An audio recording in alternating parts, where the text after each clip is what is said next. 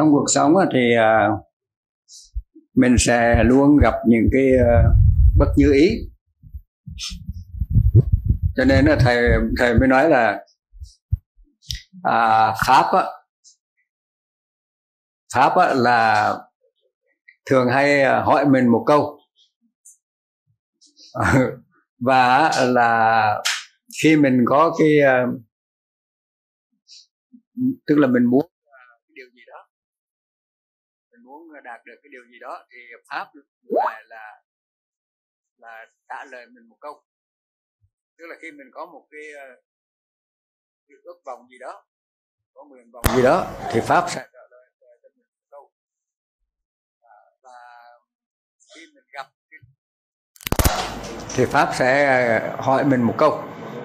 Cho nên là pháp là là luôn là lặng lẽ.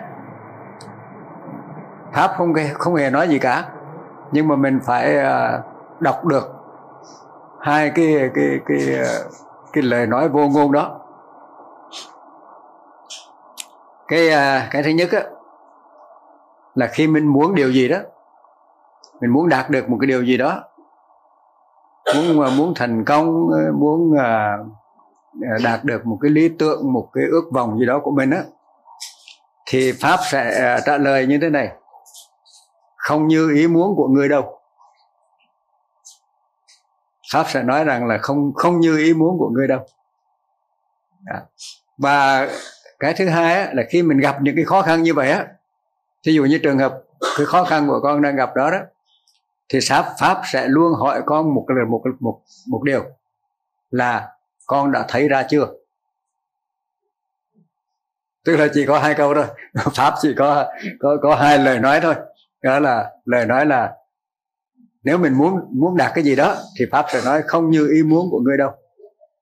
Còn nếu mình à, ờ, gặp khó khăn gì đó thì pháp sẽ nói là hay là không phải là khó khăn mà gặp bất kỳ chuyện gì trên đời này á trải nghiệm chuyện gì trên đời này á thì pháp thường hỏi là ngươi đã thấy ra chưa?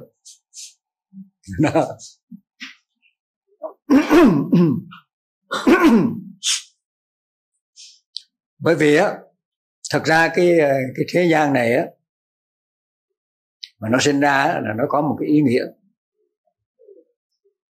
Ý nghĩa của nó. Mà cái ờ, cái bản chất của nó đó là vô thường, khổ, vô ngã. Cho nên đức phật ngài nói là người nào mà người nào mà giác ngộ được cái vô thường, khổ, vô ngã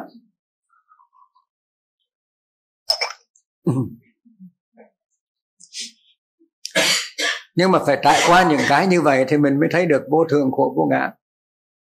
Chẳng thôi làm sao mình ờ, mình thấy được vô thường khổ vô ngã. Vì đó là cái bản chất cái bản chất của cuộc sống đó, nó là như vậy. Nhưng mà cái cái bản chất đó đó nó hại mình hay là thực ra là nó hại mình hay là nó nó đang dạy mình điều gì?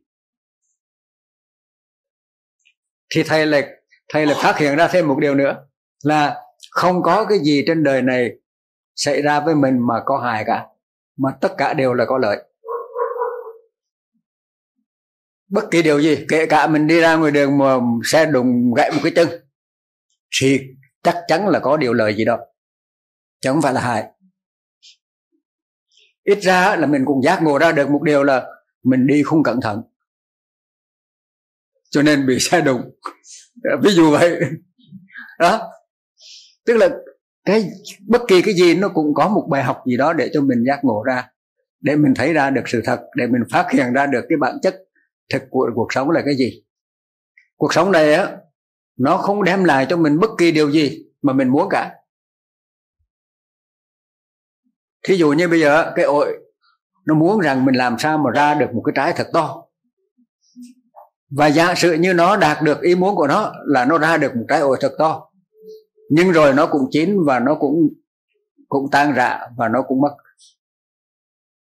Chứ không bao giờ mà đạt được cái ội to nó hoài mãi được cả. Cho nên trên cuộc đời này đó bên đạo chúa có một câu nói rất hay. À, kẻ nào chịu thiệt thòi trên thế gian này người đó sẽ được ưu ưu ái trên nước thiên đàng. là bởi vì sao? Thực ra cái câu này nó lại có một ý nghĩa rất là khác. Ý nghĩa nếu mình nói theo đạo phật của mình đó tức là người nào mà thấy ra được bản chất vô thường khổ vô ngã thì người đó giác ngộ giải thoát. Đó. Cho nếu mà bây giờ mình trên cuộc đời này mà mình làm cái gì mình cũng thành công, mình cũng được, mình cũng tốt hết trơn á, thì có lẽ mình chẳng bao giờ muốn giác ngộ giải thoát để làm gì. Bởi vì cái gì cũng như ý muốn của mình hết mà mà cái cuộc đời này đó là để giúp để giúp cho mình thấy vô thường khổ vô ngã. Vì vậy không bao giờ như ý muốn của mình. Và ý muốn của mình nó thì luôn luôn là là cứ muốn cái mặt tốt không thôi. Ví dụ như mình muốn là được à, muốn thành công muốn à, hạnh phúc muốn an lạc.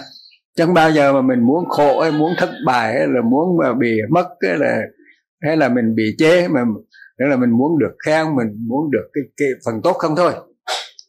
Nhưng giác ngộ lại không phải là chỉ thấy phần tốt mà giác ngộ là phải thấy ra cả cái mặt xấu của, của cái đời sống.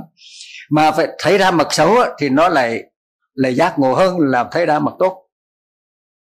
Ví dụ như mình nếu mà mình sống trong thường trong lạc trong uh, uh, trong ngã thì mình sẽ luôn luôn mình mà mình cảm thấy mình thỏa mãn rồi á thì mình bao giờ mình giác ngộ được cả. Mà mình phải trải qua những cái như vậy đó thì mình mới thấy được cái cái vô thường khổ vô ngã là gì. Mà cái cái cuộc đời này không biết ai ai, ai bên đạo Phật thì nói đó là pháp còn bên đạo Thiên Chúa nói đó là thượng đế. Thì mình không biết là cái gì mình cũng không thể nào biết được là cái gì. Nhưng mà rõ ràng á qua cái trải nghiệm tu tập của thầy á, thì thầy mới thấy rằng té ra cuộc đời này nó phải sinh ra như vậy để chi? Để giúp cho mình giác ngộ ra. À, thành ra cuộc đời này là một cái một cái trường huấn luyện cực kỳ đặc biệt. Mà qua cái trường huấn luyện đó mình mới giác ngộ ra không biết bao nhiêu thứ. Đó. thầy cũng giống như con chứ không có khác gì cả. Hồi trước khi mà thầy về cái chùa này đó thì thầy chọn một cái ờ, cái cốc trong đó trong chùa mới nói rằng là bây giờ thầy chọn mấy cái cốc ở trong trong trong chùa này á, thích cái cốc nào thì chọn cốc đó. Nhưng mà thầy lại khiêm nhường cho nên thầy chọn cái cốc thấp nhất ở, ở, ở trước này cái cốc ừ, tôn. Thì à, bởi vì thầy là có nhiều huynh đệ hồi trước là thầy lập chùa huyền không rồi có nhiều huynh đệ cho nên là thỉnh thoảng các huynh đệ ở, ở chỗ này chỗ kia đến uh, thăm hoặc là các vị sư, huynh sư đệ của thầy ở bên mỹ, ở bên các nước là về thăm. Thì ờ, thì mình có một cái cốc, chỉ có một cái giường nằm thôi, làm sao? Cho nên thầy mới là à, làm thêm một cái cốc nữa. Bên cạnh đó, nào đây là cái cốc bên cạnh. Để mà, khi mà có các vị ờ, khách tăng mà đến thì có chỗ để ở lại mà lần đầu tiên khi mà thầy xây dựng cái cái, cái, nhà đó, đó cái cái cốc đó, đó là thầy bị bệnh đường ruột luôn. Bị bệnh đường ruột luôn đó. tức là thì cái này nó cũng giúp cho mình học được bài học là tại đó khi mình lo lắng mình buồn phiền mình bực tức á, thì nó lại sinh ra những cái bệnh ở trong mình. À, làm cho mình nó là à, mình mình mình mình bực tức mình hại ai không biết nhưng mà gan mình nó, nó yếu đi. À, mà cái cái cái lo lắng đó đó là nó sinh ra cái cái cái buồn phiền đó là nó sinh ra cái bệnh đường ruột.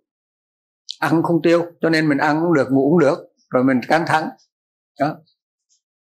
Khi mà mình căng thẳng như vậy á thì nó nó hại đến cái hệ thần kinh. Mà đầu tiên là hệ thần kinh thực vật. Mà cái hệ thần kinh thực vật đó, đó thì nó là điều khiển tất cả mọi hoạt động trong cơ thể của mình. Vì vậy cho nên á những cái cái hoạt động trong cơ thể của mình nó bị bị bị sai lệch đi. Đó. thì cái cái cái lúc đó là thầy bị bệnh đường ruột. Chữa mãi không lành. Thế là thầy lại đi làm cái, cái chùa viên không. À, và, và trải qua rất là nhiều cái ờ, cái giai đoạn rất là khó khăn. Nhưng mà may lại là cái lúc đó mình lên trên đó là mình lao động nhiều lao động nhiều rồi uống uống nước rừng. Mà may mắn là cái nước rừng trên đó là nó có cái chất gì không? Biết mà thầy ở trên đó là ăn toàn mì gói không thôi. Ở trên đó là ngày nào ăn mì gói. Mà tự nhiên là hết bình đường ruột. À, nó mới lạ chứ.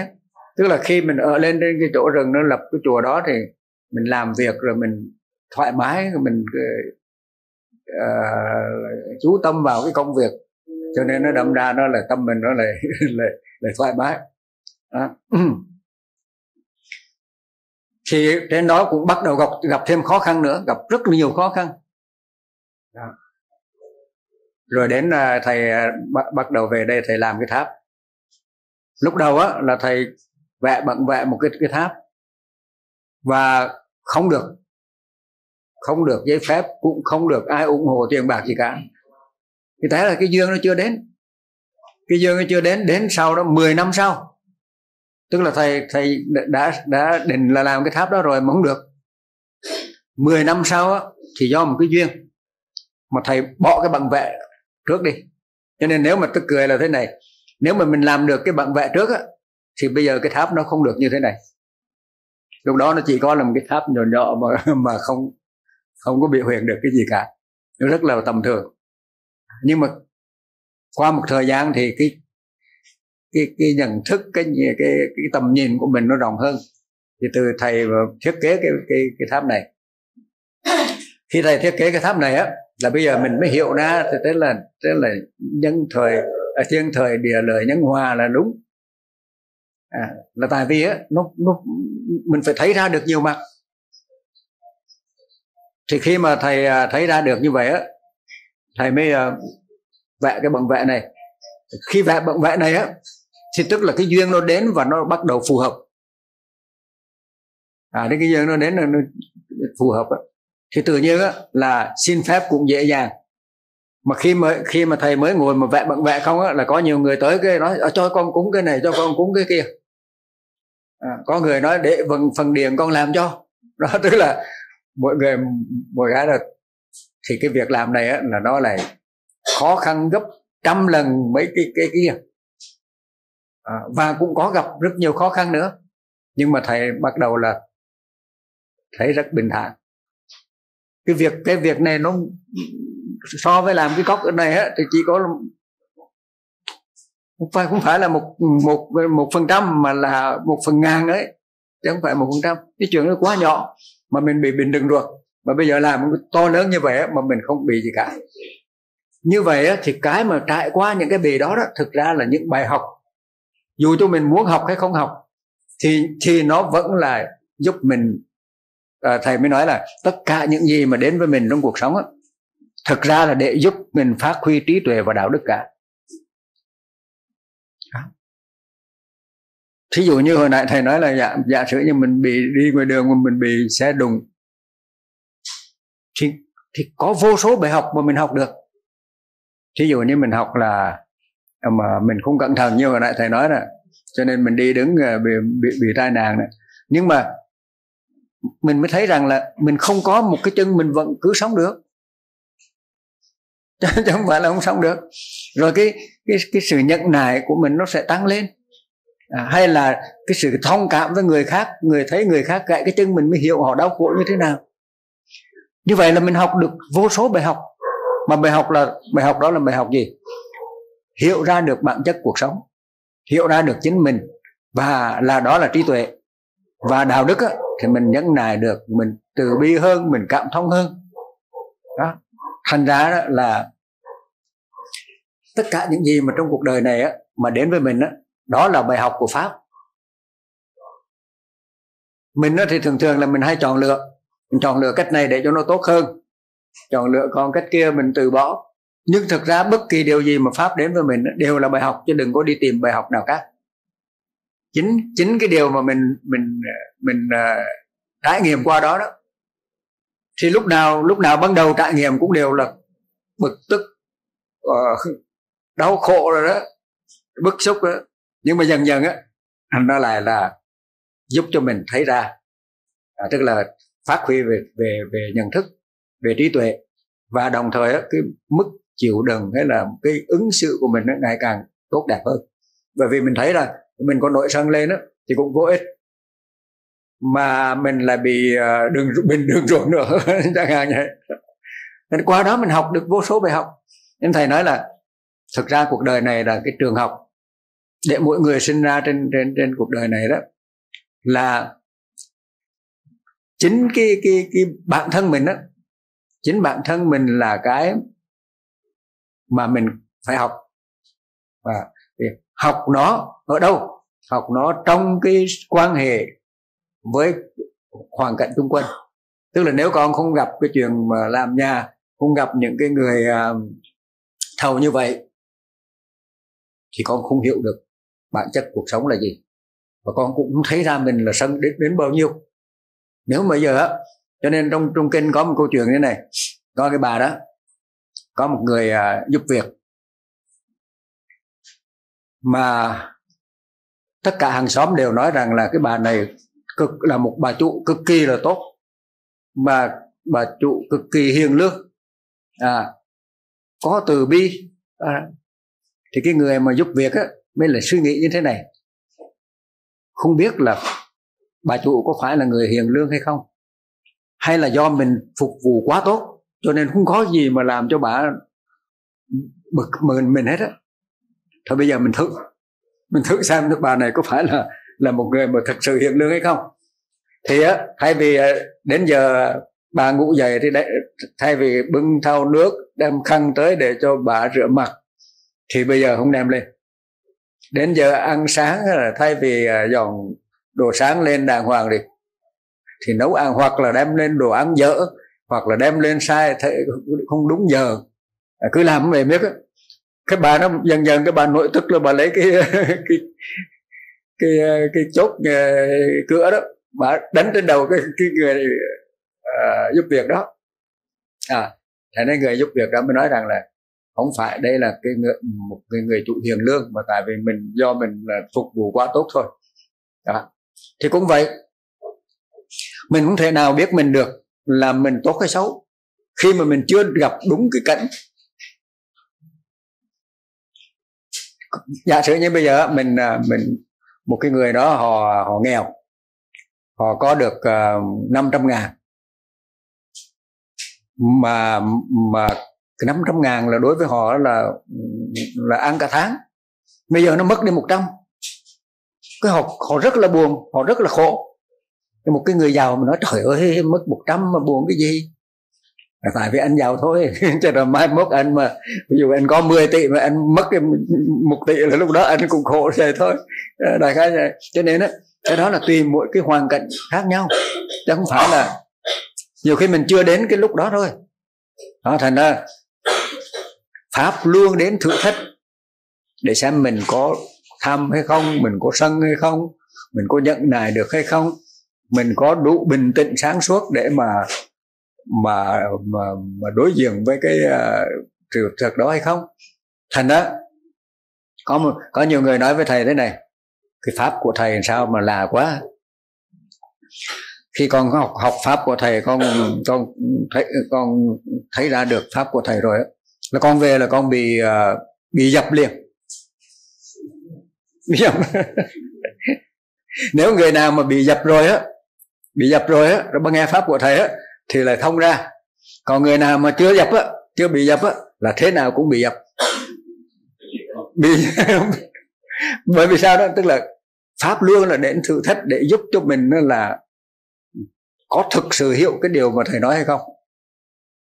Hay là chị mới hiểu lý trí? Đó mà nếu mà nó thực sự mà đến đến mà những cái pháp nó đến mà nó thử thách mình mà mình vẫn chịu được á, chứng tỏ rằng là mình thật sự mới là là thông suốt. Còn không á là mình chỉ mới hiểu qua lý trí thôi. Đó. cho nên bị ông chồng nói là đúng đó. Tức là mới học nhưng mà bây giờ qua cái thử thách này á con mới là tiến bộ đó khi mà con tiến bộ rồi á con mới nói à chà, cảm ơn mấy cái ông thầu này đó. Cho nếu mà mình không gặp mấy ông thầu này thì cũng biết là mình mình bây giờ là mình có tiến bộ được hay không. Đó. Nên tất cả những gì mà trên đời này mà đến với mình đó dù là thuần hay nghịch, thực ra đều là bài học để giác ngộ cả. Mà thậm chí á, là những cái mà nghịch á, nó dễ giác ngộ hơn là những cái thuần nhưng mà người ta tu là người ta sai lầm ở cái chỗ là người ta cứ cố làm sao để đạt được cái thuần thôi đó là sai lầm. Mà mà phải đối diện thực sự với cuộc đời này. Phải à, phải trải nghiệm tất cả những cái được, cái mất, cái hơn cái thua, cái thành, cái bài cái vui, cái khổ, cái vinh, cái nhục là phải phải trải nghiệm qua tất cả những cái đó. Cái cuộc đời của thầy á mà mà sợ gì mà thầy nói được những điều này là nói thực chứ không hoàn toàn là không phải nói trên lý thuyết. Hoàn toàn nói thực từ trải nghiệm của mình.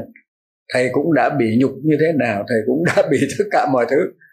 Đó, cho nên đó, thầy bây giờ thầy tất cả những điều thầy nói là hoàn toàn thực. Vì vậy cho nên thực ra cuộc đời này không phải là để mà trốn tránh nó mà muốn giải thoát cuộc đời này đó là phải đối diện với nó để xem thử mình có giải thoát hay không. Chứ không phải là mình giải thoát ra khỏi nó. Thầy có một ví dụ. Thầy nói là có cái ông cái, cái đứa con công tự nhà giàu đó. Nó nó hư. Tại vì nó giàu quá đó, đâu cần phải học đâu cần phải làm gì nữa. Mình có tiền cả đống rồi mới tự nhiên bắt, bắt mình phải đi học bắt mình phải làm cái này cái kia chứ à, cho nên nó hư hỏng hư hỏng thì cha mẹ mới là gửi vô một cái trường huấn luyện. Trường huấn luyện nó bắt phải thức khuya, phải dậy sớm, phải làm việc này, phải làm việc kia, phải rất là cực khổ. Cái thằng đó nó tức quá nên nó nói, trời ơi, tự nhiên sao đây đi vô đây mà làm cái này? Bỏ tiền ra mà sang bằng nó lại cho nó trở thành ra một cái công viên thật là đẹp để mà đi chơi chứ. Thế tại sao lại làm những gì ba, những cái cực khổ như thế này? Đó. nhưng mà nó không biết rằng là đó là một cái trường huấn luyện nó trải qua được tất cả những cái khó khăn những cái khổ đó đó thì nó mới thật sự là nên người. À, thay vì thành phật á, thì bây giờ thầy nói nên người. Chứ khoan nói thành phật cái đó nói thành nên người. Thì bây giờ mình sống trong cuộc sống này á trải qua bao nhiêu cái cái điều gì đó trong cuộc đời này á tất cả những điều đó đều là những bài học mà pháp đưa đến để giúp mình giác ngộ ra. Mà bài học của pháp đưa đến đó, đó luôn luôn là có liên hệ đến bản thân mình. À ví dụ như à, thầy thầy thầy kể thầy kể vui lắm thầy nói là có cái người đó tới nói với thầy là đó sao mà con mà lấy một cái ông chồng một cái ông chồng đó ông cực kỳ là uh, xấu xa là, là độc ác rồi gì đủ thứ hết đó uh, ờ,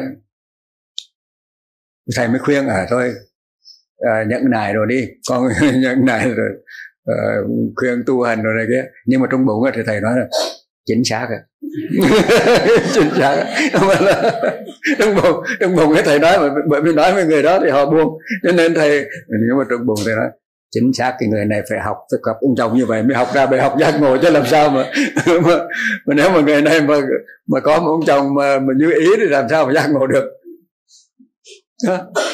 Nhưng mà nó rất là đúng vì pháp nó sẽ đến đến vào cái cái mà mình thực sự là là mình yếu. Tức là cái điểm nào mà mình yếu đó, thì cái đó, bài học đó nó mới đến nhiều. Đó. bởi vì thầy qua trải nghiệm của thầy để thầy thấy là khi mình thông suốt một bài học nào rồi á, thì coi như bài học đó nó sẽ không đến mình nữa. Cái đó là là là trải nghiệm của thực của thầy đó thí dụ như khi mà thầy thầy bị đi ở tù lúc đầu là thầy bực rất là bực tức. Mình tại sao mình đi bữa tù? À, nhưng mà sau sau thầy mới hiểu ra rằng là à sau đó thầy trải qua nhiều cái thì thầy học ra được nhiều thứ. Học ra được nhiều thứ rồi mà bắt đầu thầy thấy mình hoàn toàn an tâm. Thì, thì bắt đầu thầy thấy rằng là mình ở trong tù cũng được chứ đâu sao không tù luôn cũng được, chứ không sao. Hồi trước là cái ngày nào cũng mong làm sao mà đi ra. Còn bây giờ mình nói ở đây luôn cũng được, không sao nữa. Cho nên lúc đó trong cái trong cái phòng phòng giam của thầy là có 13 người. Mà đứa nào cũng sợ số 13 hết đó thầy nói để để thầy lấy số 13 cho. Vì thầy vì thầy ở lại cũng sao cho mấy đứa con lấy số hình để mà ra. Còn để thầy lấy số 13 cho. Tức là thầy đã hoàn toàn chấp nhận cái bài học đó rồi á mà không còn dao động gì nữa hết, không còn buồn phiền gì nữa hết á. Thì ngày mai á là kêu tên ra. Tức là mình học xong rồi thôi. Thầy mới hiểu rằng là pháp chỉ đến dạy cho mình thôi. Mà mình thông suốt rồi là bài học đó coi như xong. Không học bài học nó lại nữa. Cũng như mình học lớp 1 rồi. Mình thông suốt lớp 1 rồi thì học lớp 1 lại chứ lên lớp 2 thôi. Nên cái bài học đó mình đã học xong, mình đã chấp nhận cái điều đó mình không còn buồn bực buồn phiền gì nữa. Thì lúc đó mình sẽ sẽ thoát ra được.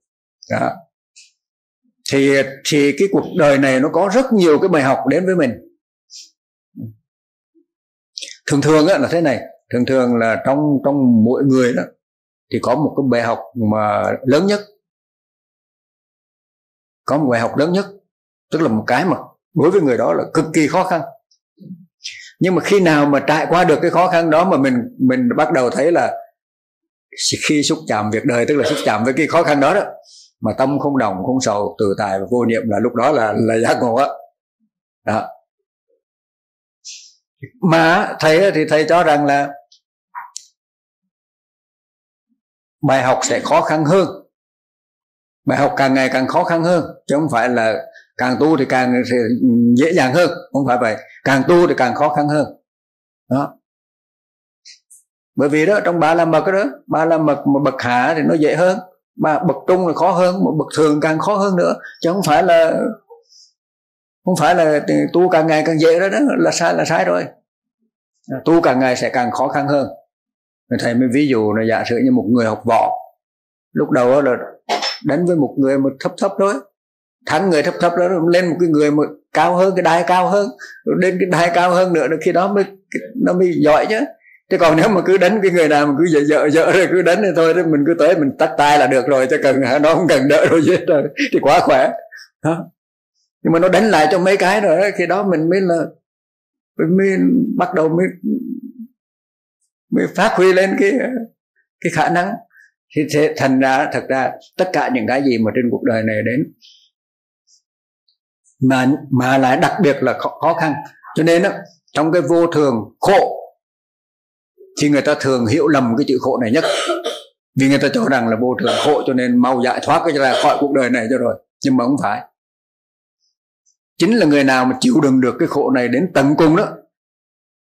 Thí dụ như mình nói là à, ba la mật à, ví dụ ví dụ như bố thí ba la mật bậc thường đi tức là có thể hy sinh cả thân mạng mà mà tâm vẫn bình thản. Nó quá cao. Chứ đâu phải là thôi sợ sợ sợ sợ trốn trốn đi tu sao mà để cho nó yên yên mà đừng lên niết bàn cho mau. Là khi nó là đi trốn. Mà thực ra là mình phải thấy ra được cái chính cái khổ đó. Trong ba yếu tố vô thường khổ vô ngã là yếu tố khổ lại là yếu tố cực kỳ quan trọng. Cho nên tại sao khổ đế lại là đưa, đưa vào hàng đầu người ta tưởng là khổ đế là là, là xấu. Nhưng mà cái ngay cả cái sai cái xấu đó nó cũng là bài học để giác ngộ. Nếu không giác ngộ được tập đế khổ đế thì cũng cũng không thể nào mà có đạo đế diệt đế. Vì vậy cho nên tập đế khổ đế cũng là bài học để mình giác ngộ. Và nó cũng là là thánh đế chứ không phải là cho lẽ ra cái đó là nói là ma đế còn đạo đế diệt đế mới là thánh đế còn cái tập đế, khổ đế là ma đế. Thì mới đúng chứ nhưng mà đây là thánh đế hết. Tại sao thánh đế? Tại vì khổ cũng giúp mình giác ngộ. Mà cái khổ mới là chính là cái mà giúp mình giác ngộ nhất. Đó. cho nên á, lúc đầu thì trải qua ai cũng phải vậy thôi. À cha con cũng không có gì để đáng trách cả. Nhưng mà quan trọng là qua đó mình có học được bài học gì. Chứ không phải là mình tức là nếu mình không hiểu thì mình sẽ làm sao mà để cho nó đừng có như vậy. Nhưng mà càng càng muốn đừng như vậy thì càng khổ hơn. Đó. Nhưng khi mà con chấp nhận là cuộc đời nó là vậy rồi thôi nhưng mà cái đó nhiều khi mình lại cảm ơn họ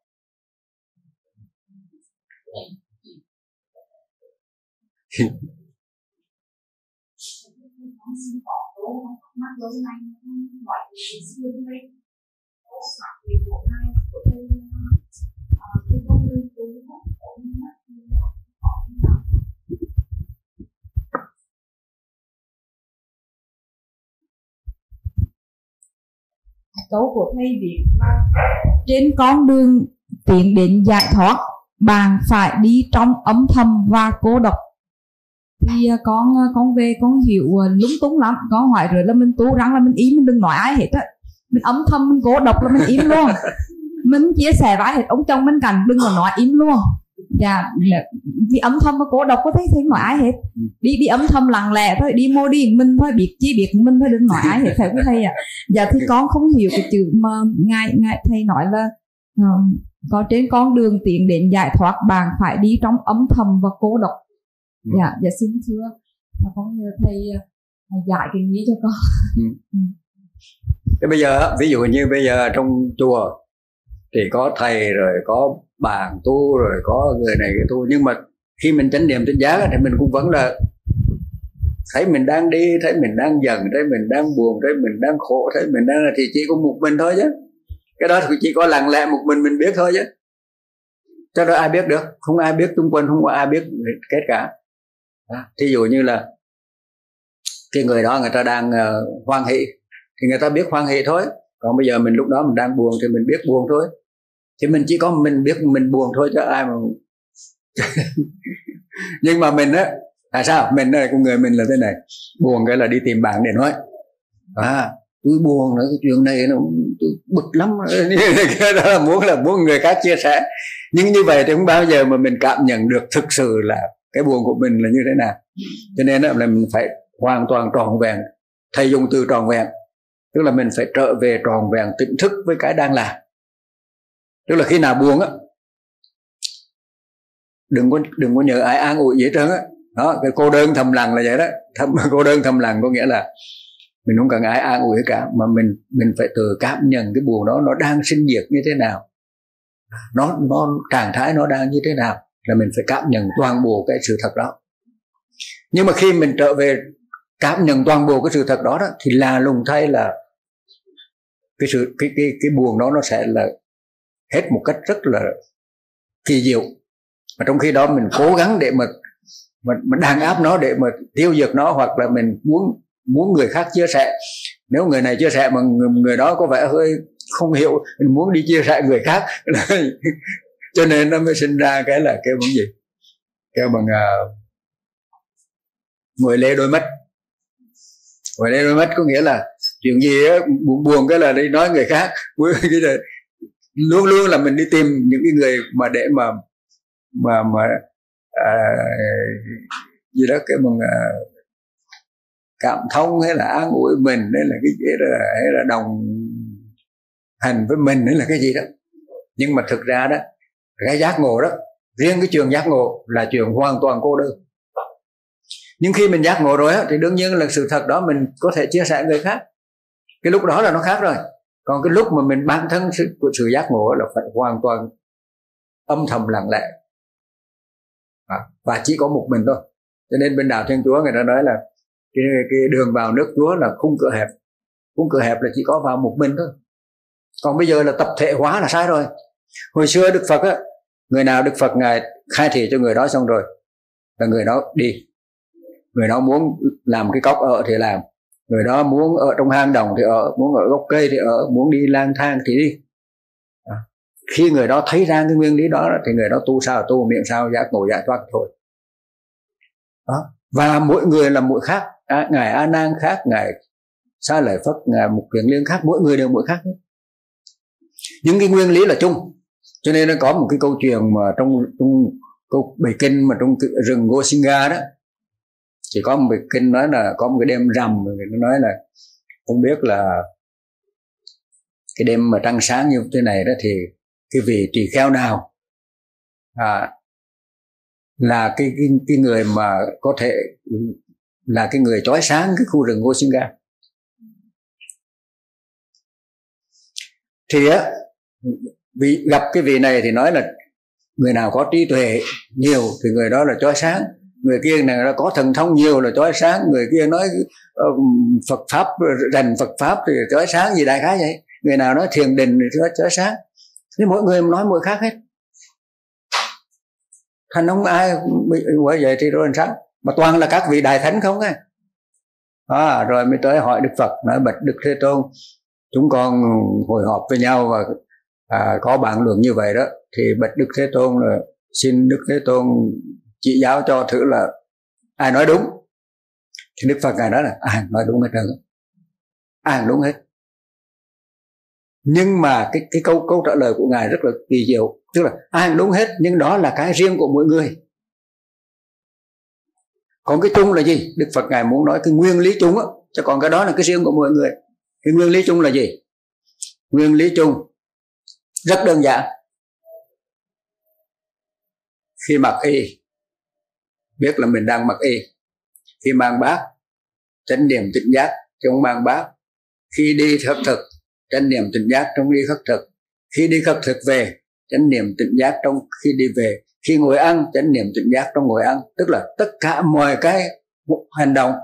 Hoặc là khi ngồi ngồi lại một mình à, thì cũng là cũng là à, chánh niệm tỉnh giác sáng suốt biết mình.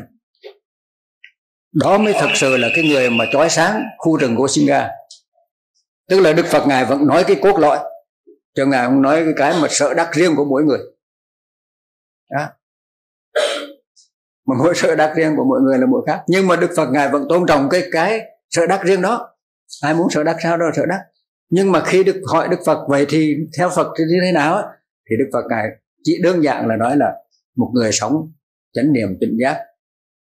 À, luôn sống trong chánh niệm tỉnh giác đó là chính là cái người mà chói sáng cái khu rừng vô sinh ra. Cho nên đó cho nên là cái um, cái cái hồi nãy con hỏi cái gì? Hồi nãy, hồi nãy là à cô đọc cho nên đó là cái cái cái, cái việc mà tu tập đó, là hoàn toàn là mỗi người riêng rẽ và cô độc. À, chứ không chứ không có không có chuyện là hai ba người là cùng tu một kiểu. Không phải kiểu đó không phải như vậy. Không phải là bây giờ ai cũng phải vô một lớp học và hoàn toàn như nhau bây giờ là tập thực thể hóa. Cho hồi đức phật là không hồi đức phật là đúng là mỗi người là là thầm lặng cô đơn thần lặng nên có cái bài kệ mà nói là nhất bác, thiên gia phản cô thân vàng lý du, kỳ vi, sinh tự sự, giáo hóa đồ xuân thu. Đó. Thì nhất bác, thiên gia phản cô thân vàng lý du. Đó. một mình, một bác, một y bác. Đại khái là vậy. Tức là mình phải tròn vẹn. Giác ngộ chính mình. Đó. đồ chính mình. Ờ, và và khi mà mình đã giác ngộ rồi á, thì đương nhiên lúc đó mình sẽ là chia sẻ cho người khác bởi vì mình thấy rõ người này khổ làm sao người kia làm sao là đều thấy cho nên nếu có duyên là lúc đó mình sẵn sàng chia sẻ. Đại khái là vậy thôi. Cho nên cái cái mà cái giác ngộ là phải là một cái cô đơn thầm lặng.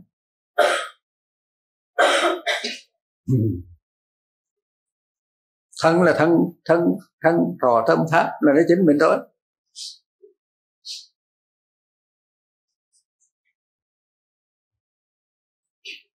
Rồi ai hỏi gì nữa? Dạ à, nam mô bổn sư ca mâu ni phật. Ừ. À, chúng con ở điện biên không cận đại lễ thầy à. để kiến thương tăng và cận giao kiểu phật tử. Giờ bà thầy à, tối nay đó là ở viên không ly là đang có khoảng gần một trăm người đang nghe thực tiết bài pháp bài pháp của thầy ở trong gương thiên lịch thầy. Ừ. à, thì mọi người rất là hoan hỷ. À, hôm nay thì chúng con cùng ban đầu cùng dự định là đã đi về dự lễ của sinh nhật thầy ở viên không nhưng mà vì có năm bạn đó là được xuất gia và con con muốn là chọn cái ngày sinh nhật của thầy là mùng bốn tháng hai. Bạn được xuất gia đó để ngày mai là các bạn được phát y và đón mừng ngày 20 năm thành lập cũng như điện hiến không? Và vì vậy cho nên chúng con không có về được và chúng con tập trung để chuẩn bị cho lễ ngày mai. Yeah. và hiện nay thì ở trong phương thiền đó thì có một nhà nhóm là uh, các sư cô và các phật tử là sinh viên của khoa đào tạo từ xa khóa năm của học viện Phật giáo. À, là khoảng 24 bạn lên đây để nghe pháp. Thì trong đây có một sư cô là sư cô Diệu Như à, muốn đặt câu hỏi bây giờ con sẽ mời cô Diệu Như đặt câu hỏi cho thầy ừ, rồi. Hỏi đi.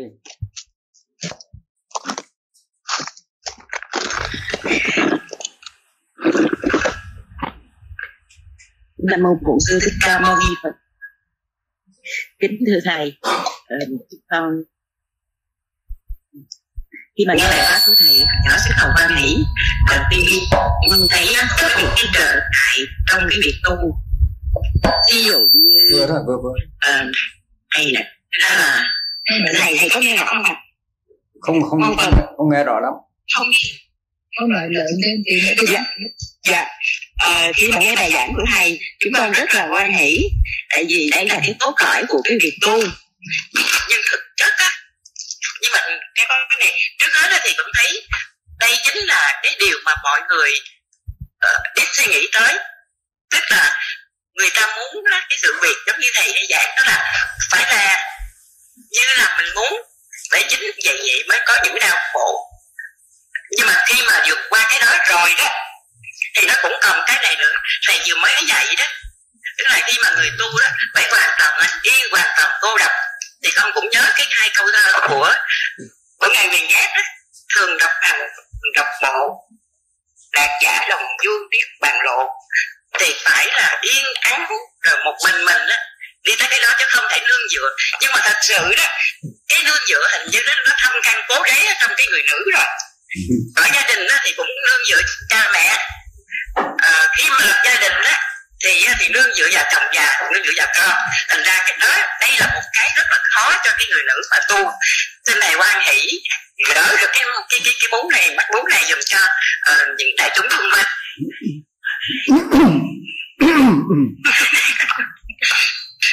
có cái bản lĩnh á như đi sư liệt pháp á.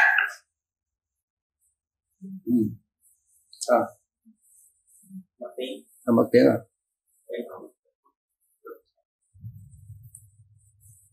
mất tiếng rồi. Không nghe. Nhưng mà đại cái là là thầy cũng hiểu.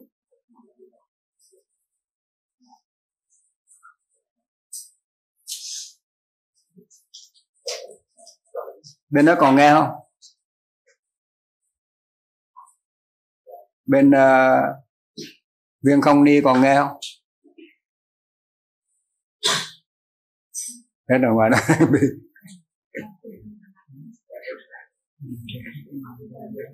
mất mạng.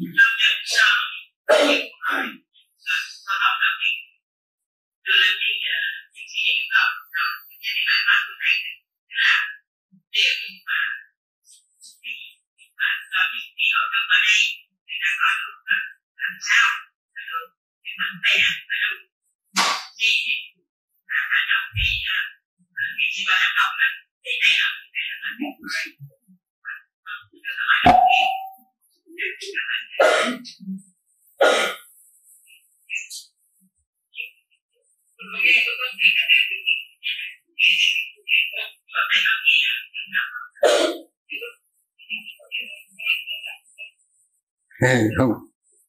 Có ai có ai nghe được? Có ai nghe được thông dịch lại giùm? Là con nghe là à, sư cô có nói là cái bạn thường là hay có cái tính là hay cũng như kiểu ở tại ừ. giờ khi ở nhà thì chúng nhỏ thì cha mẹ để chồng để chồng và những người con. Thì thầy hướng dẫn cho người làm nào để không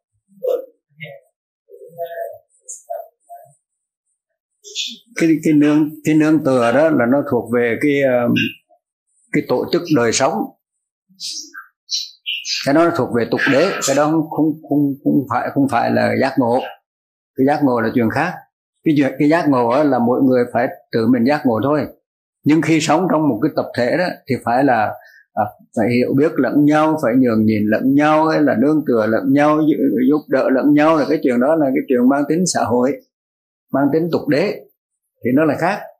Nhưng mà cái câu mà thầy nói là là nói cái giác ngộ đó cái giác ngộ là chỉ có mỗi người từ mình giác ngộ thôi. Còn bây giờ ăn uống là phải ờ, nương tựa nhà bếp. Đương nhiên là chuyện đó rồi. Đi đâu là phải xin trụ trì. Thì cái đó là phải đương nhiên rồi.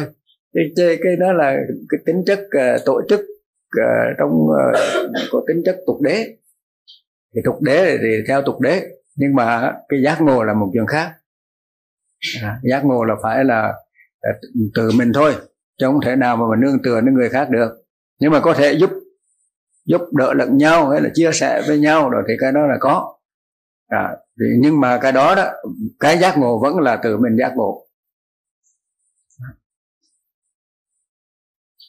Từ mình phải trải nghiệm phải chiêm nghiệm và phải thấy ra.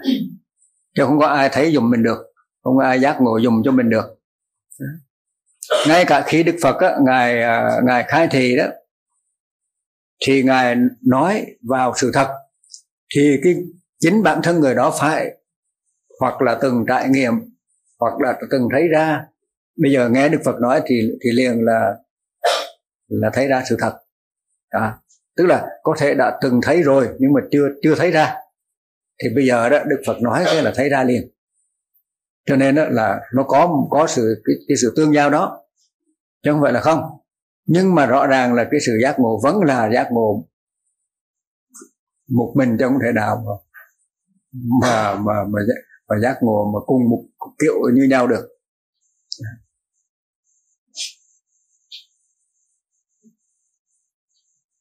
Bởi vì bản thân của mỗi người nó là mỗi khác rồi. Tuy là cũng có mắt tai mũi lưỡi thân ý như nhau nhưng mà cái nội dung thì nó vẫn hoàn toàn là sai biệt mà một giác ngộ là phải giác ngộ chính cái cái mà mỗi người đang làm. Cho nên nó là phải phải cô đơn thầm lặng. Nhưng mà trong cái cái à, đời sống chung thì nó vẫn có những cái tương tác tương uh, hỗ trợ lẫn nhau. À, thì cái đó là cái chuyện uh, nó mang tính uh, thế gian mang tính tục đế. Nó có hỗ trợ nhưng mà nó không phải là cái yếu tố quyết định cho sự giác ngộ.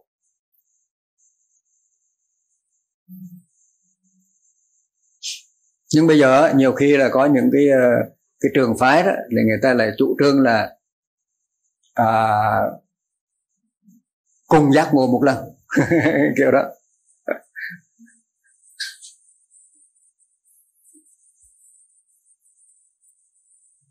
Thì á, ví dụ như là cùng có một số người à, đã từng trải nghiệm chiêm nghiệm à, đã từng ờ, thấy ra thấy được những thấy được nhưng mà nhưng mà chưa chưa giác ngộ Đó. thì ờ, có một cái người giác ngộ người ta nói ra cái thì thì là thấy ra liền coi như là coi như mình à, ờ, thấy rất là rõ ví dụ như có người họ nói là con à, con à, tự nhiên sau có lúc con đang đi xe đạp đi xe xe có máy vậy đó, ờ, ngoài đường thì tự nhiên là con thấy vắng lặng hết. Trung tâm con cũng hoàn toàn rộng lặng và bên ngoài cũng hoàn toàn là là rộng lặng hết. Và và lúc đó là không biết là cái gì mà, mà là đi rất là đàng hoàng đi vận tránh xe tránh đồ rõ ràng minh bạch hết á nhưng mà hoàn toàn là ở trong một cái rộng lạc ví dụ vậy. À, thì khi đó cái người đó họ hỏi đó thì thì phải thì thầy phải là cái người cùng trải nghiệm cái đó rồi. Mới là thấy đó là cái gì rồi cái đó mới nói à đó là, là cái gì? À. Chứ còn họ nhiều khi họ trải nghiệm qua cái đó nhưng mà họ không biết đó là cái gì. À. Đại khái là vậy đó. Cho nên đó là khi mà có được một cái người đã từng trải nghiệm qua rồi thì mới xác định cho họ thì họ mới, mới thấy ra thành ra cái thấy ra đó vẫn là cái cái cái người đó phải phải trải nghiệm rồi. Còn nếu không á thì cũng không thể nào thấy ra được. Tức là có hai người. Một người ở, bây giờ ở đây có hai người. Một người ở, có ở Huế rồi đã đã sống ở Huế đã đi khắp ở Huế rồi. Cho nên bây giờ thầy nói Huế một cái là họ biết liền. Họ biết cái gì liền. Còn một người ở Sài Gòn đọc sách Huế rất nhiều. Huế như thế này thế kia gì đó nói gì họ nói được hết. Nhưng bây giờ mà thực ra thầy nói cái gì ở Huế gì đó được họ cũng không, không thể nào họ, họ biết thực được. Họ chỉ là biết trên lý thuyết thôi chứ còn thực là họ không thấy. Vì vậy cho nên là cần phải trải nghiệm thực. Mà trải nghiệm đã gọi là trải nghiệm chiêm nghiệm thì phải là cô đơn cầm lặng thôi. Còn cái ở chung tập thể là đương nhiên tôn trọng lẫn nhau rồi ra quy luật này quy luật kia. nổi quy này, nổi quy nọ thì cái đó cũng có. Nên hai cái chuyện đó là hai chuyện khác nhau.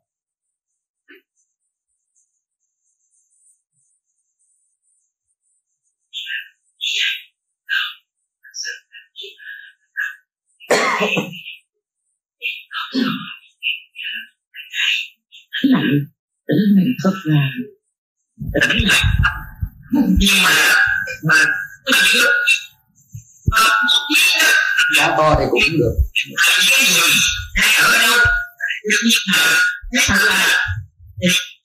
Là phải có một vị thầy thay thì có một vị thầy nhận ra mình đang ở đâu, mình mình đang được bắt nuốt cái gì. Thành ra cái cái vị thầy hết sức là quan trọng. Trong cái đường tôi của mọi người ờ, chúng ta thấy là thật là có phúc. Khi được nhị, khi được mà thầy ngủ tri thức có tâm và có tâm hướng dẫn chúng con sự đó con cũng nhớ thấy cái câu váy của một vị đệ tử của ông sô á. Nói như thế này thưa thầy nhưng mà con ở lần thầy con thấy con là phật. Nhưng mà khi mà con về nhà rồi con thấy phật ông tìm. Thì sô mới bị, tại vì cái học đến của con. À nó chỉ thôi. Nó nắm được cái là nhờ nhờ cái của của của những cái gì mà như vậy nhớ là cái một cái bài giảng của đức phật đó dành cho ba gia đó. Con thấy nghe thì cứ nghe con biết con biết chút để không có ông trong đó.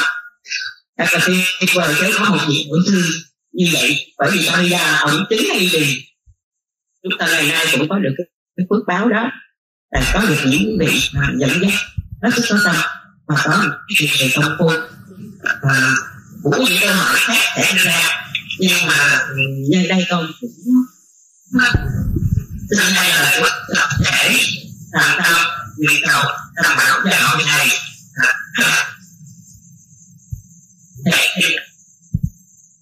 Để dẫn dắt chúng ta được được mặt mong vật được cảm ơn này. Nhưng mà một lần này thì cũng bị hỏi và nó xin mời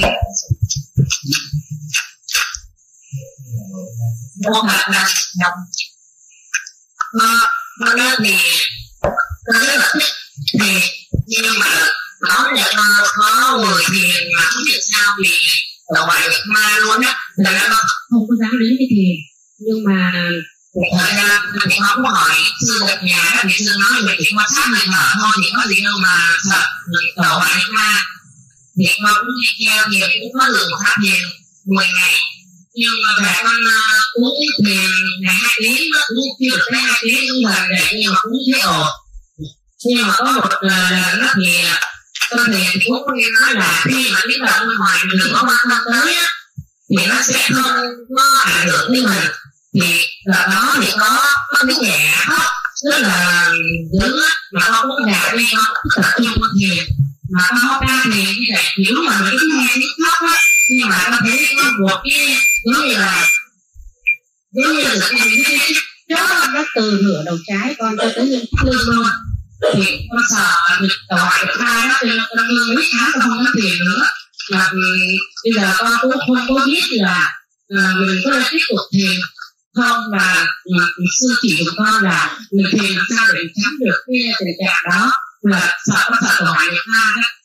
Xin cảm ơn ạ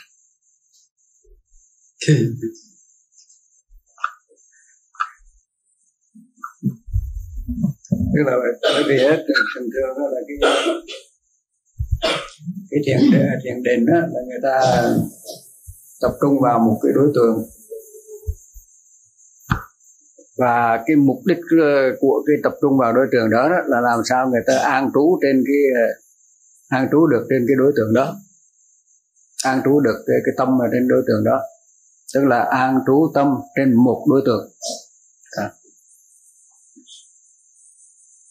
cái đó là một cái loại định. Loại định đó thì nó phải à, đòi hỏi cần phải à, à, tầm tứ rồi cho đến khi đạt được định. Mà phải trải qua những cái giai đoạn mà, mà nhiều khi phải cố gắng tập luyện rồi nhiều khi rất là nhiều. thì cái loại định này á là nếu mà không được uh, hiệu đúng á, thì rất là bị về tẩu hỏa nhập ma. Bởi vì chỉ cần là mình làm mà nó căng thẳng quá đó do căng thẳng cái căng thẳng là bởi vì sao? Nhiều khi mình quá tham uh, sao cho mau đắc mau định rồi mình cố gắng quá. À, cái đơn giản là vậy thôi. Chứ còn thực ra đó thực ra nếu mà hiểu đúng thì thì thiền định nó rất là đơn giản, rất là dễ dàng, chứ không phải là quá khó khăn, bởi vì nó, khi mà không hiểu đúng thì mình hành một cách khó khăn và nỗ lực thật nhiều, nhưng mà nó lại đưa đến cái cái căng thẳng và và nó có cái ảnh hưởng lâu dài về tâm lý. Rất là nguy hiểm. Có khi chưa đến nỗi tẩu hỏa nhập ma, nhưng mà nó ảnh hưởng về tâm lý rất là nguy hiểm cho nên đó là cái đền mà cái đền mà của của Phật á nó khác với cái đền của cái ờ, mà thầy gọi là đền hữu vi hữu ngã. Cái đền mà mình là do muốn là tâm mình yên rồi mình phải cố gắng tập trung vào một cái đề mục gì đó chẳng hạn. Thì cái đó là cái đền đền mà thầy gọi là đền sắc giới vô sắc giới hay là cái đền hữu vi hữu ngã. Thì người ta thường á, hồi xưa thầy hiểu rằng là Ờ, à, bắt đầu thì mình hành định như vậy. Rồi cái sau à, khi mà mình mà à, giác ngộ rồi một cái thì cái định đó nó trở thành là thánh định. À, nhưng mà nhưng mà không phải. Thầy sau này thầy, thầy thấy cái điều đó không đúng. Cái định đó nó vẫn sắc giới vô sắc giới chứ không thể nào thành thánh định được. Bởi vì cái định đó nó nó thành ra là hai cái cái cái cái trói buộc. Trong 10 cái cái trói buộc đó là sắc ái và vô sắc ái. À cho nên cái định mà trong chánh định mà của bác chánh đạo là nó hoàn toàn khác.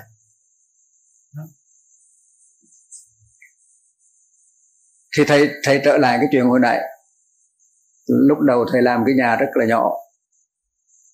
Nhưng mà là rất là bực bực bối nhưng bây giờ làm cái tháp rất là lớn, mà vẫn ăn ngủ bình thường.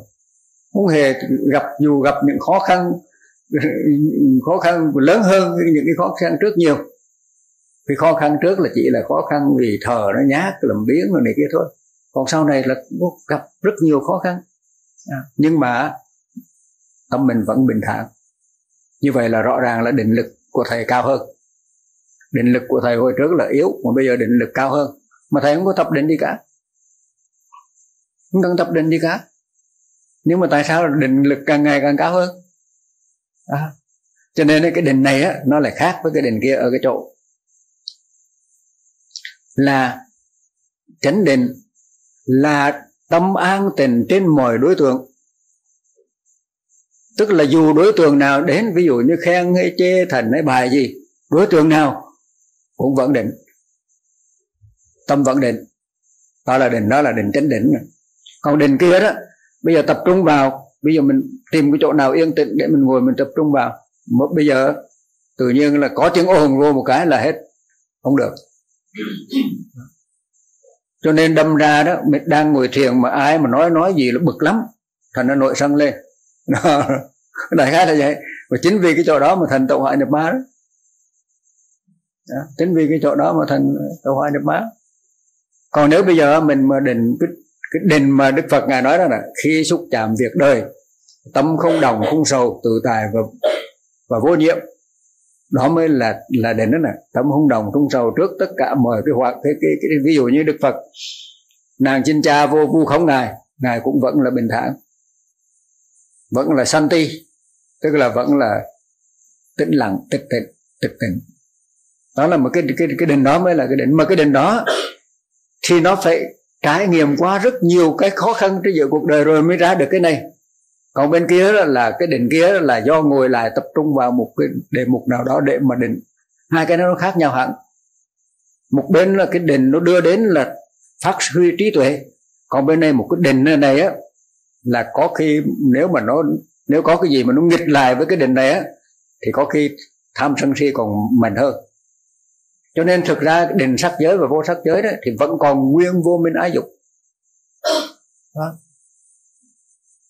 còn cái định mà ở trong cái mà mình thường à, sáng suốt biết mình thường chánh niệm tỉnh giác trong tất cả mọi cái hoạt động đó hoạt động đó mình không chọn lựa hoạt động đó để pháp từ đến cho mình không chọn lựa. Nếu mình chọn lựa đó thì nó lại là, là ý đồ của bạn ngạ rồi à, còn bây giờ cái chuyện nó nó đến như vậy thì thì mình học bài học đó. Chuyện kia nó đến như vậy thì mình học bài học kia đó là cứ như vậy. Mà cứ học bài học như vậy đó thì thì dần dần là mình định lực mỗi ngày mỗi cao lên. À, mà cái định này là nó thành ra thầy mới nói là đó là cái định từ tánh. Tức là cái tâm mình nó vốn là nó có yếu tố định. Nhưng bây giờ nó phải có những trắc nghiệm để đưa đến để xem cái định đó nó có đủ đủ lực để mà nó đối đầu với tất cả mọi khó khăn trên cuộc sống hay không. Thì cái định đó mới là mới là định giác ngộ giải thoát. Còn cái định mà sắc giới vô sắc giới đó mà dùng dùng cái định sắc nhiều nhiều nơi người ta vẫn dùng cái định sắc giới, vô sắc giới đó để mà làm cái bàn đạp để đi lên giác ngộ đó. Đó là sai á. Bởi vì cái định đó đó là nó nó làm trở ngại cho nên nó mười cái trở ngại của cái thiền tuệ đó. Chính là do thiền định mà ra hết. Đó. và tại sao người ta không thấy ra được cái chuyện đó không biết, thầy không hiểu. Cái chuyện nó quá rõ ràng vậy mà người ta không hiểu rồi người ta cứ vẫn là cứ đeo đuổi theo cái đền đó. Ờ, mà chẳng tới đâu hết trơn bảo đảm một trăm phần trăm là chẳng tới đâu hết. Cao lắm là đạt tới được đền. Nhưng mà đền rồi thì chỉ có ngồi ở chỗ vậy thôi, chứ làm gì? Trong trong trong cái thời gian mà người này cứ ngồi định thì người cứ nghe chửi. Nghe chửi rồi bị lừa gạt, rồi bị đủ thứ, rồi cuối cùng họ lại hoàn toàn bình thản trước những cái đó. Họ thấy đó là vô thường khổ vô ngã. Thì họ bao giác ngộ hơn. Đó. Mà định, mà không phải là họ không có định, mà rõ ràng bây giờ ai chơi người ta, tâm vẫn bình thản. Như vậy định của người ta rất là cao. Còn bây giờ nghe đứa cũng nít khóc một cái là nội tức lên rồi. Sao mà để cũng nít khóc như này mà đang ngồi đình mà sao là để cũng nít khóc? Nạt cho nó một cái ngay ở đến chùa viên không, có câu chuyện như này. Định mấy người cái ngồi tu thiền, cái ngoài cái chó nó sủa. Chó sủa cái, mấy sư ra đuổi mấy ông chó đi chứ. Mấy chó sủa như vậy. Thì chó sủa ông nói cái kè chó chứ, mắc mới gì mà mà phải đuổi chó sủa mà mà tâm cũng mất định thì thôi, cái định gì? Khi nào mà chó sủa mà tâm vẫn bình thản mới là định chứ chó chó sủa là phải lo mà đuổi đuổi chó đi cái đã. Thì cái đó mình được mới định được.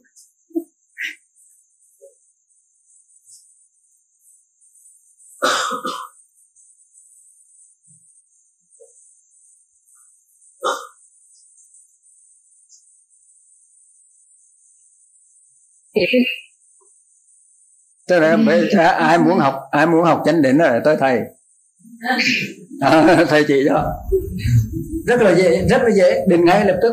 Không có khó gì hết.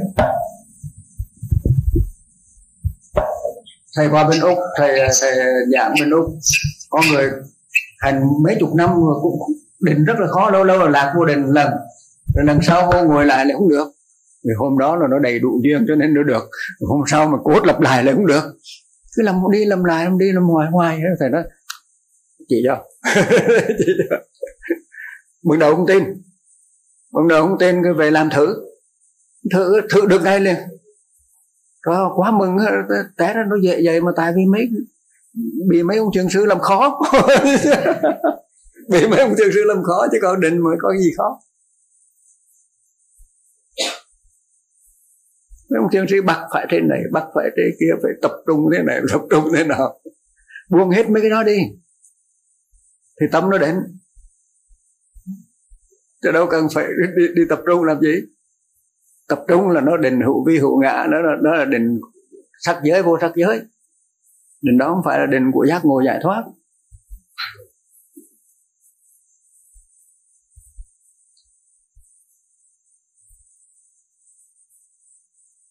Hết giờ chưa? 15 phút nữa có câu hỏi. Ai hỏi? Mà hỏi hỏi hỏi hỏi hỏi, hỏi là thì đọc đọc. Hỏi kiểu đó dễ hơn chứ hỏi hỏi kiểu kia nghe không được.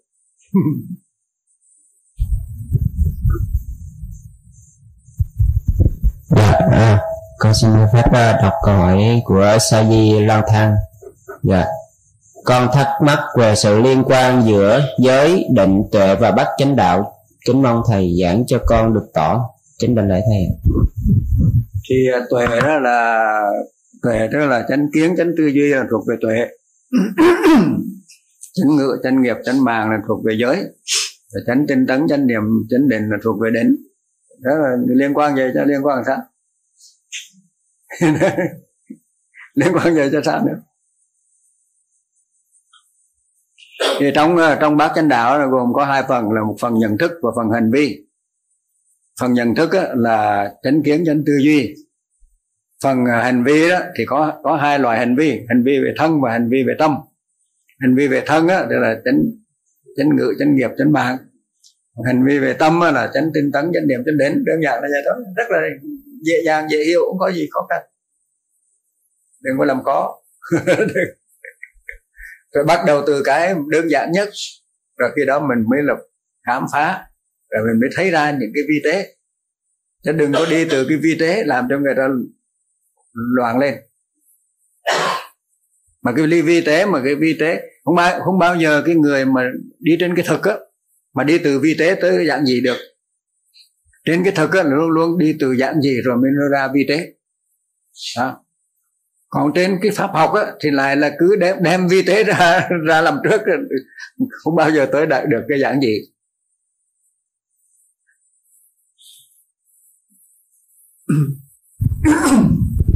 Dạ à, câu hỏi của lê minh trần. Dạ bạch thầy con thấy trong kinh có đoạn nói không hoan hỷ không sầu muộn thế tôn sống cô độc vậy làm sao có thể sống được như vậy khi có quá nhiều mối quan hệ trong cuộc sống ạ? À?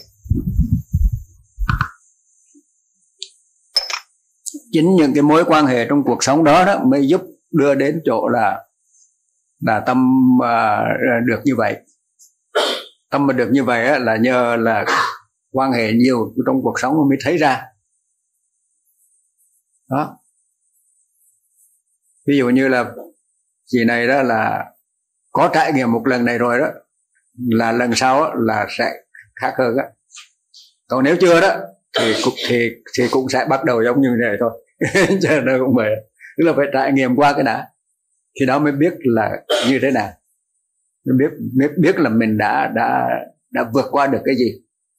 Đã, đã thông suốt được cái gì. Cho nên là phải trải nghiệm thôi trải nghiệm qua cho nên tại sao đức phật lại trải qua rất nhiều a tăng kỳ kiếp? A tăng kỳ kiếp là để trải nghiệm chứ không phải là, không phải là ngài tu. Mình cứ hiểu theo là kiếp đó ngài tu quá trời rồi, kiếp sau ngài tu quá trời không phải tu đâu. Cái đó mà người ta bày đặt ra đó. Chứ còn á, Đức Phật là ngài, trong cái kiếp đó ngài là trải nghiệm, ngài đã lấy vợ như thế nào, ngài đã giết người như thế nào, rồi ngài mới thấy được cái sai đó như thế nào kiếp sau ngài mới là không còn cái sai đó nữa rồi kiếp sau lại trải nghiệm chuyện khác. Mà cứ vậy mà cứ trải nghiệm trải nghiệm cho đến khi ngài mới hiểu rõ hết tất cả mọi chuyện đời là cái gì. Lúc đó mới mới gọi là là nhất thiết trí là chánh biến tri.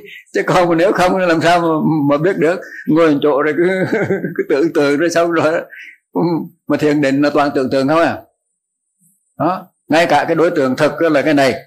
Bây giờ phải ngồi làm sao mà tưởng tượng nó thành ra một cái quan tướng à, rồi khi đó mới từ cái quan tướng đó mới là tức là phát xuất xây dựng toàn trên trên ảo tưởng trên tưởng tượng. Cho nên cái đó không phải đó cái đó không phải là chánh định. Chánh định là cái mà mà ngài đã trải nghiệm qua tất cả mọi cái. Bây giờ thậm chí ngài còn biết ờ, ở dưới địa ngục như thế nào. Đó. ở địa ngục khổ như thế nào ngài cũng biết rồi. Cho nên đừng có sợ đi địa ngục nghe. Mà mình xin đi địa ngục cũng không ai cho. Không ai cho. Bởi vì á chỉ khi nào mình mình cần học bài học ở dưới địa ngục thì pháp mới chuyện mình tưởng địa ngục thôi. À, mà hay mà đã pháp chuyện mình tới địa ngục á, là chắc chắn có lời cho mình. Đó thế là đức phật mà ngài không có đòi địa ngục ngài làm sao biết được là đòi địa ngục khổ như thế nào mà để mà sau này mà giảng?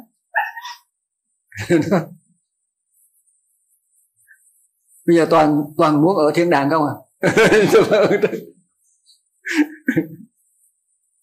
Thì như vậy á đức phật ngài gọi là là giống như khúc củi mà bị vớt đi á. Tức là đó là một trong những cái cái cái cái, cái, cái trở ngại của sự giác ngộ đó. Là muốn lên thiên đàng không à? Tức là muốn ở chỗ sung sướng không à? Chứ không chịu học trải, trải nghiệm những bài học mà đau khổ như là địa ngục đồ này kia là là sợ cái quan niệm đó là quan niệm cực kỳ sai lầm. Mà cái cuộc đời của mỗi người đó là đã sẵn trong rồi.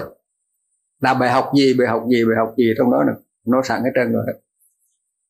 Kể cả làm nhà là tới ngày đó, tháng đó làm nhà như vậy rồi bị cái áo bị đó không phải là định mệnh, nhưng mà đó là sự vận hành của pháp, tất yếu để mình học bài học.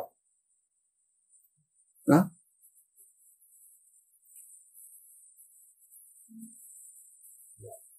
Thành ra mình nó thường thường cái tu của mình là trốn tránh sự thật để mà muốn đạt được cái mà mình mà, mà mình vọng tưởng. Chứ thực ra là bài học mà thực mà pháp đến đó, đó là bài học mà mọi người phải học. Chứ đừng có đừng có quên phí giây phút nào. Chánh niệm tỉnh giác có nghĩa là không đừng bỏ quên bất kỳ một khoảnh khắc nào của đời sống. Đó chính là ý nghĩa của chánh niệm tỉnh giác.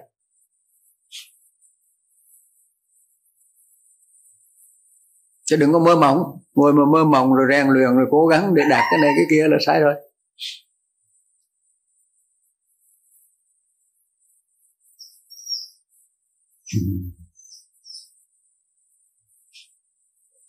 À, con nữa hả?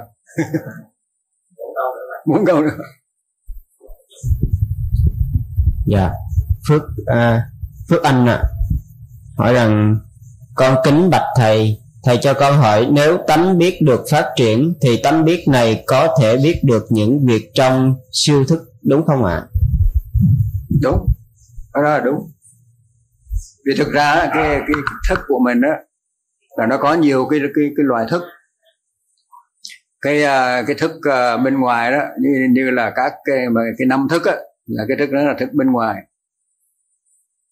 Nhưng mà ở bên bên trong á cái ờ, pha văn ga đó pha văn ga cũng là một cái cũng là một phần của cái thức mình mà nó ở dạng là tiềm thức nó ở dạng là vô thức. Đó. Nhưng mà còn sâu vô trong nữa là có một cái dạng gọi là người ta gọi là là là siêu thức. Đó. Cái, cái siêu thức á.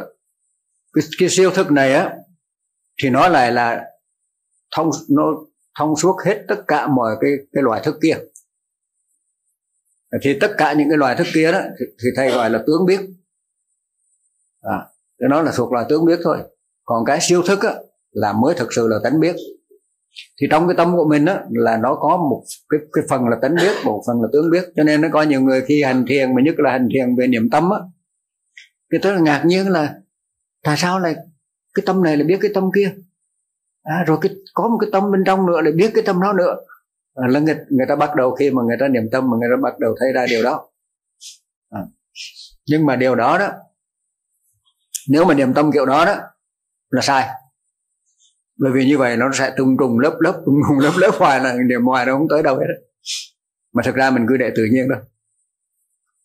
Cứ để tự nhiên vậy thôi. Thì mình sẽ phát hiện ra rằng là cái nào là cái hoạt động của siêu thức cái nào là cái hoạt động của của vô thức của tiềm thức cái nào là cái hoạt động của ý thức đó. cái nào là cái hoạt động mà ý thức là nó có ý thức nó còn thêm cái ngũ thức nữa tức là mắt tai mũi lưỡi thân được ý thức đó. nhưng mà mắt tai mũi lưỡi lưỡi thân á, thì cái thức đó nó chỉ là mùi lược thôi đến cái ý thức á, là lúc đó mới là mới là vấn đề nhưng mà cái ý thức mà ban đầu á ý thức ban đầu á tức là khi nó chưa bị cái ý thức đó nó chưa bị nhuốm cái gì hết á thì nó vẫn là trong sáng đó. cho nên á khi người ta khi cái ý thức à, hay là sáu thức á mà tiếp xúc với bên ngoài dần dần học ra được tất cả những bài học mà một cuộc đời này đưa đến đó này thì lúc đó anh mới là khi anh thấy ra rồi á thì anh mới tâm anh mới yên à, lúc đó lúc đó anh mới trở về lại với cái tính chất bản chất là thanh tịnh trong sáng đó. Khi trở về cái bản chất thanh tịnh trong sáng á thì lúc đó gọi là tri kiến thanh tịnh. Và khi mà khi mà tri kiến thanh tịnh á có nghĩa là cái cái sáu cái thức đó, nó hoạt động hoàn toàn là không còn cái, cái, cái ý đồ của bạn ngạ nữa. Mà lúc đó là nó thông suốt từ cái tánh biết ra à từ cái tánh biết ra qua cái sáu thức đó nó không còn qua cái cái mà mà mà ờ, mà các cái thức mà chủ quan nữa. Ờ, thì lúc đó đó nó mới là thông suốt với cái tức là tướng biết lúc đó mà thông suốt với tánh biết. Mà cái này á bây giờ mình nói, nói, nói theo kinh điển là, là họ nói là thầy nói tầm bậy. Nhưng mà người nào mà người nào mà nghe thầy nói mà chứng nghiệm được điều này á thì người nào nói thầy nói đúng quá lúc đầu không hiểu đến khi mà đến khi mà cái thấy ra đó lúc đó mới thấy là, là điều mà thầy nói là là đương nhiên. Là là là, là chuyện có thực. Và mình chứng minh được cái chuyện thực đó. Bởi vì có những cái biết mà hoàn toàn là vô vi vô ngã. Đó nhưng mà có những cái biết là cái biết mà khi mà cái tướng biết mà nó hữu vi hữu ngã đó là lúc đó nó là trở thành ra là chính cái tướng biết mà hữu vi hữu ngã đó mới sinh ra cái cái cái cái luân hồi sinh tử. Đó.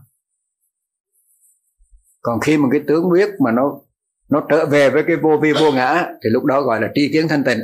Tức là cái mặt ngoài nó nó thanh tịnh mặt ngoài thanh tịnh đó lúc đó nó mới gọi là tương thông người ta dùng cái từ hay là cái từ tương thông. Nó mới tương thông với là cái tánh biết mà đức phật ngài gọi là bạ phát sarachitta tức là cái tâm chói sáng. À, và trong cái cái, cái tăng chi bộ kinh cái phẩm 10 đó đức phật ngài nói là này các tỳ kheo. Cái tâm này á, là chói sáng. Nhưng mà kẻ vô văn phàm phu đó không biết cái tâm chói sáng này. Cho nên ấy, chỉ là chạy theo cái sáu thức và và nắm bắt cái đối tượng bên ngoài của nó. Vì vậy cho nên á, mà khi nắm bắt đối tượng bên ngoài á, thì ví dụ như mình thấy cái đó thì mình thích mình ghét. Bắt khi nào mình thấy một cái gì đó thì cũng đều có khổ có lạc có thích có ghét. Cho nên đâm ra cái đó nó trở thành ô nhiễm cái tâm. Đó. còn cái người mà thiền trí người ta thấy được cái tâm và Papasara Chitta đó cái tâm mà, mà chói sáng đó. Cho nên á không còn bị cái ô nhiễm bên ngoài à, vẫn không bị cái cấu uế bên ngoài làm cho ô, ô nhiễm tâm. Đó. thì thực ra đó toàn bộ cái cái mà khi mà phát khi mà hướng ra bên ngoài mà trở thành ra là sinh tự luân hồi đó thì cái đó cho nên bài kinh nó được Phật đặt gọi là đặt sai hướng. Tức là khi đặt cái tim cái tâm mà tìm cầu ra bên ngoài này đó là đặt sai hướng. Mà chính là trở về buông ra tất cả những cái đó để trở về lại với cái tâm Papasara Chitta này thì cái tâm Papasara Chitta này đồng thời trong một cái bài kinh khác trong Udana Đức Phật lại nói rằng là có cái không sinh không hữu không tác không thành. Vì sao vậy? Vì nếu không có cái không sinh không hữu không tác không thành thì không thể nào thân, à, trình bày được sự thoát ly khỏi sinh hữu tác thành. Rõ ràng là tu hành là thoát ly sinh hữu tác thành để trở về với cái không sinh không hữu không tác không thành chứ không phải là để đạt được một cái gì mà mà do sinh hữu tác thành mà mà đạt được. Đó. Rất là rõ ràng.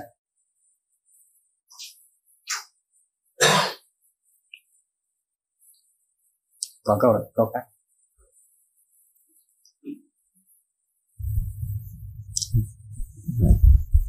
Dạ. Dạ bác thầy ni viện xin được hỏi là uh, con nghe thầy giảng tu và thay đổi à, tu là thay đổi nhận thức và hành vi. Nhưng cái thay đổi nhận thức có vẻ khó vì trong quá trình sống huân tập nhiều thứ và tập khí cũng nhiều. Trong bài giảng thầy hay nói về đoạn à, uh, tận đoạn tận tham sân si giải thoát niết bàn. Con nghe thầy thường giảng nhiều về tham và sân nhưng về si thì thầy ít đề cập. Vậy những uh, và những người tâm hay uh, lo lắng bất an thì, thì làm cách nào để họ thấy ra việc không lo à, à, thấy ra việc lo lắng đó à, không cần thiết ừ. thì cái đó là đức phật ngài dạy trong kinh tứ nhầm sử là đức phật ngài nói rất rõ. Tức là tâm an thì thấy tâm an tâm bất an thì thấy tâm bất an. An với bất an là cái tâm đó là tâm là tướng biết. Còn cái thấy đó là phải tánh biết mới thấy được. Mà lúc đầu là mình vẫn thấy bằng ý thức cho nên nó không tới đâu cả khi nào mà không còn thấy bằng ý thức nữa mà là thấy bằng tánh biết á tức là để cho cái phần mà ờ, mà, mà ý thức đó, đó nó thanh tịnh đi nó yên đi thì khi đó cái tức là buông hết cái cái mà cái biết của của, của tri thức đó đi thì lúc đó nó mới trở về với cái là cái sự tịch tình của tâm đó. thì lúc đó nó mới chói sáng chói sáng cho nên đó, bây giờ ờ, an thì thấy án bất an thì thấy bất án định thì thấy định không định thì thấy không định ờ, giải thoát thì thấy giải thoát không giải thoát thấy giải không giải thoát. Cứ là cứ là tâm đang như thế nào tâm sinh diệt như thế nào thì tất cả mọi thứ đều phải phải thấy như, như thực. Nhưng mà nhưng mà nói tôi nói làm sao cái tâm này mà thấy cái tâm kia được? Cho nên tướng biết không thể thấy được tướng biết khác. Vì tướng biết chỉ xuất hiện một lần không thể xuất hiện hai, hai một lần mà hai tướng biết nhưng mà nói vậy cũng sai á. Theo thầy là vẫn xuất hiện một lần mấy tiếng biết cũng cũng xuất hiện được. Thí dụ như bây giờ mình xem tivi mắt vừa thấy tai vừa nghe. Đó. Và nếu mà nếu mà giả sử giả sử cái cái cái um, thầy bị đau mắt thì mắt thất thầy yếu nhưng mà thầy thầy xem á nó không, không rõ là là mắt nó đau. Như vậy là thân thân cái cảm thọ của thân. Đó, là là thân. Là tất ba cái đó nó nó, nó điền lần vừa nghe vừa thấy vừa đau mắt. Nhưng mà có một cái lại biết được hết cả cái ba cái đó. Có một cái tâm biết được luôn cả ba cái đó. Mà bây giờ nếu mà mình cố cố dùng ý ý, ý thức để mà biết á, thì không bao giờ biết được mà phải buông ra. Cho nên tại sao có nhiều người á, bỗng nhiên họ họ thấy ra tánh biết. Là bỗng nhiên thôi. Đó là bỗng nhiên có một lúc nào đó họ buông ra. Buông hết tất cả một cái nó lặng yên hết trơn cái cái tự nhiên quá sao lặng yên nó vẫn thực vẫn biết vẫn, vẫn biết mà biết còn sáng hơn nữa. Đó. Ờ, thì khi đó họ mới phát hiện ra à thì té ra tại sao mà có một cái tâm mà là thấy được tất cả mọi cái sinh diệt mà trong đó đức phật ngài nói mà. Thấy ra sự sinh diệt vị ngọt sự nguy hại đó. Tức là thấy tức là thấy rõ mà, mà cái mà tâm này thì không thể thấy rõ tâm kia. À, ví dụ như tâm từ là thấy tâm từ thôi cho tâm từ không thể thấy được tâm sân. Vì hết tâm sân rồi lúc đó hết sân là từ đâu còn sân đâu nữa. Đó nhưng mà rõ ràng là mình thấy rõ là khi sân là mình thấy sân mà khi từ là mình thấy từ mà.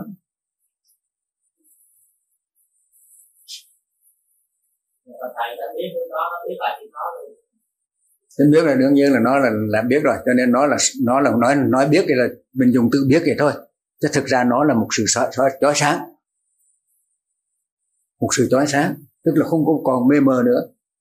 À, còn mê mờ là gì? Mê mờ là trong đó nó có ba cái yếu tố mà làm cho mình mê mờ yếu tố thứ nhất là hôn trầm, tức là cái cái cái trạng thái tâm bị chìm chìm chìm trì trệ.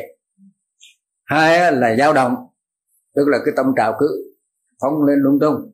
Và ba là hoài nghi. Đó là tâm si, thầy nói hoài chứ tại không nghe. Tâm si là thầy nhắc đi nhắc lại cái tâm si đó hoài. Nhưng mà tâm tham vẫn thấy, tâm sân vẫn thấy, tâm si vẫn thấy được hết.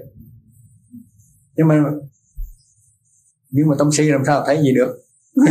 Tại vì nó tâm si thì nó đang nghi ngờ như này đấy. Nhưng mà tâm si bằng thấy tâm si, tức là tâm tham mình thấy tâm tham đức phật nói rõ mà. Tâm tham thì tuệ tri là tâm tham, mà tâm sân thì tuệ tri tâm sân. Si là tuệ tri tâm si, nói rõ mà. Mà si làm sao thấy? Nếu mà lấy tâm si thì tâm si làm sao thấy?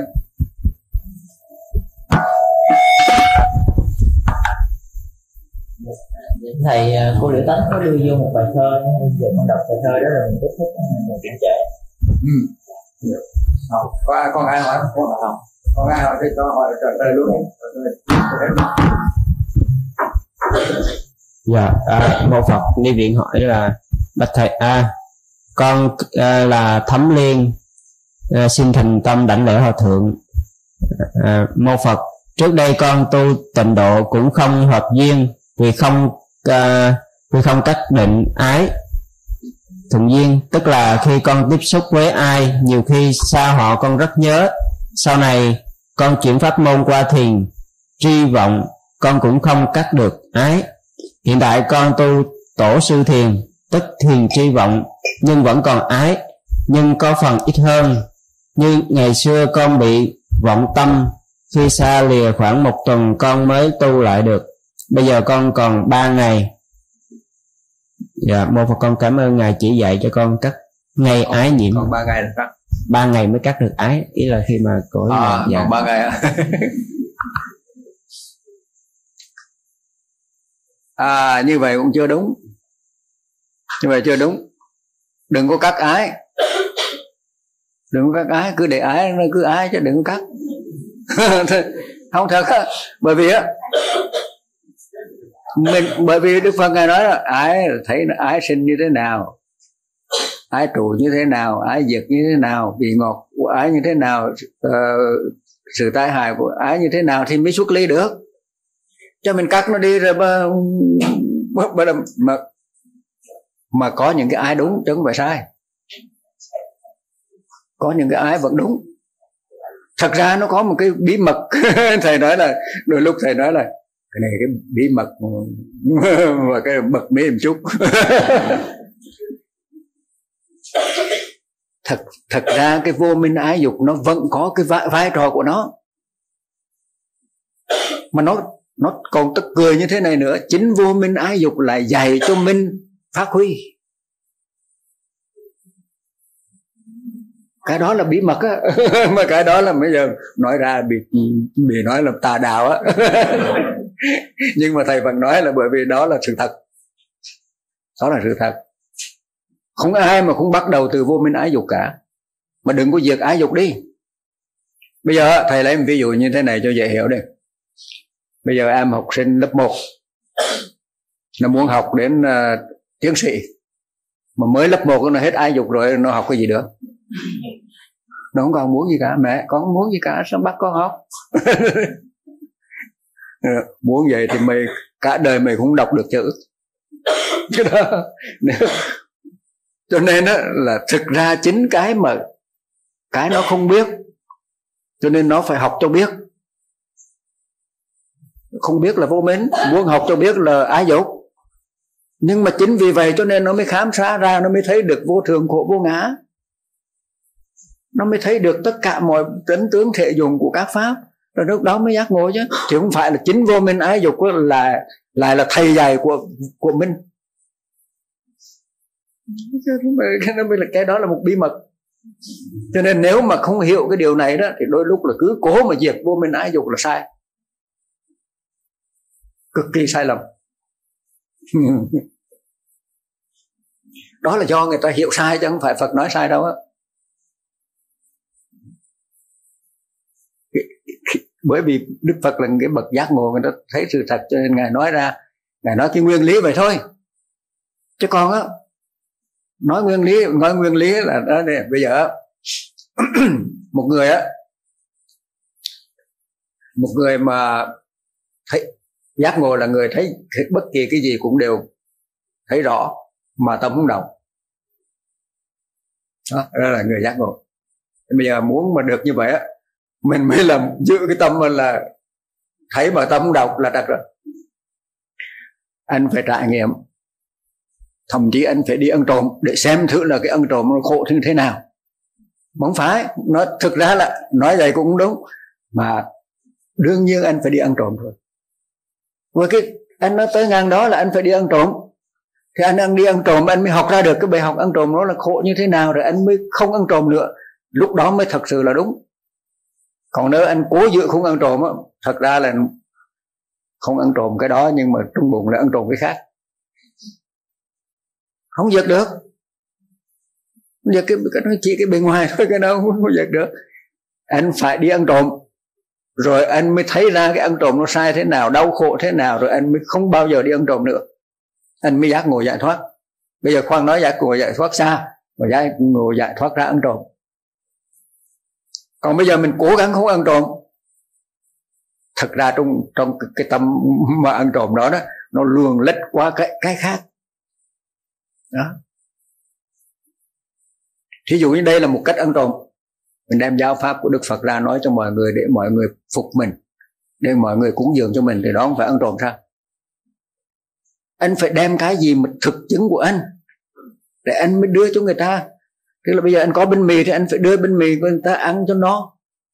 Chứ mà anh không có gì cả, anh cứ nói trên trời dưới đất ra để cho người ta nghe rồi mà người ta hiểu lầm rồi người ta tu sai tầm bậy tầm bạ hết trơn á, thì cái đó cũng chết nữa.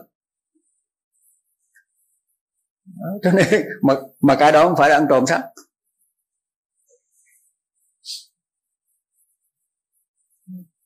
Nó nó nó rất là vi tế mà nếu mà không nhìn mà không nhìn cho vi tế đó, cho thấy ra đó là nhiều khi mình lừa mình lừa người mà mình không biết đó dễ sợ Dạ, à, bà thầy Phước Anh xin hỏi là ở chỗ con sống có rất nhiều người bị vong nhập thì thầy có cách gì cho họ hết hay không ạ? À? Thì nó vong nhập cũng là bài học. Tại vì à, nếu mà người đó chánh niệm tự giác, nếu mà người đó tu đúng tốt thì không có bị con nhận Mà anh thất niệm, anh thiếu chánh niệm tự giác bị xem là hoặc là nhất là cái mà bị tham lam. Ví dụ như nghe nói là mở lưng xa cái gì là được cái tốt cái này cái kia cũng mở. Mở ra là coi như là mình mở cửa để cho không có đó như vậy tham những cái của mình làm thì hắn để mà học ra phải học khác rồi thôi rồi tức là đừng à, cứ dùng biện pháp này để mà đạt được cái này đạt được kia thì đã tất cả là cái gì đến với mình trong cuộc đời đều là cái giai đoạn mình học được đó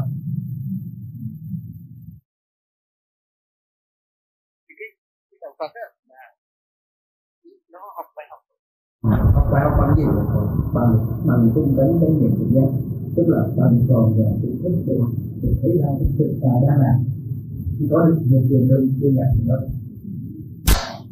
chứ còn mình đó là mình là cứ hay là cứ dùng cái pháp này để mà đạt được cái, cái kia đạt được là cái đó là sai hết rồi.